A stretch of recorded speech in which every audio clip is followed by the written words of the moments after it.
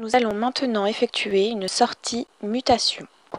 On parle de mutation lorsque le patient va d'un service du CHU à un autre, et cela est valable pour tous les sites du CHU, à savoir Oissel, Boussicot, Saint-Julien, Bois-Guillaume et l'unité Poussin à Saint-Étienne-du-Rouvray.